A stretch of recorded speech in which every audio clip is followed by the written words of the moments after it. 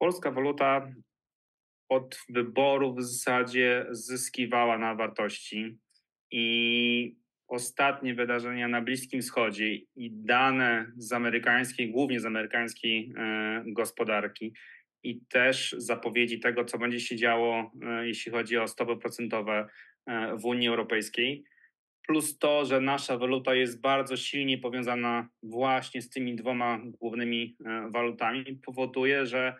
złoty ponownie zaczyna tracić na wartości. Wszystko jednak wskazuje na to, że nadal będziemy, ta zmiana procentowa mm, wartości polskiej e, waluty nie będzie na tyle istotna, żeby mogła spowodować znaczące podrożenie kosztów e, wyjazdów zagranicznych mm, Polaków. Proszę pamiętać, że wakacje te zagraniczne oczywiście,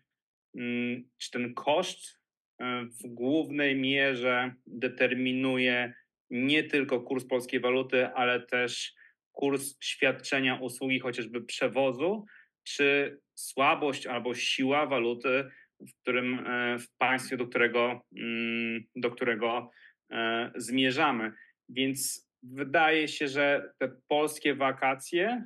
wakacje Polaków za granicą będą mniej więcej podobnych cenach co y, przed rokiem. Wszystko na to wskazuje, że polskie wakacje y, Polaków będą prawdopodobnie droższe o około 5-6% niż jeszcze w 2023 roku.